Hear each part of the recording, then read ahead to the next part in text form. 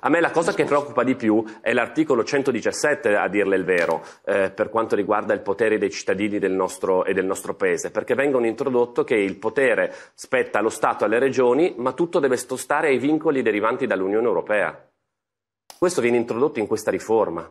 Noi ci stanno dicendo che anche se il 100% del Parlamento fosse contrario a un'imposizione, all'ennesimo diktat che arriva dall'Unione Europea, anche il 100% del Parlamento, anche il 100% dei cittadini di questo Paese non potrebbero più fare nulla.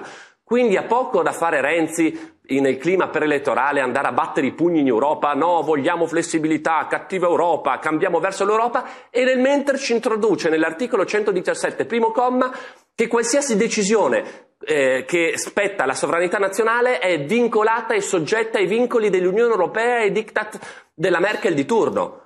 E questa è la vera perdita di potere, e questa è la vera drammaticità della cosa. Stanno cercando di togliere il potere al popolo e consegnarlo a piccole lobby potenti.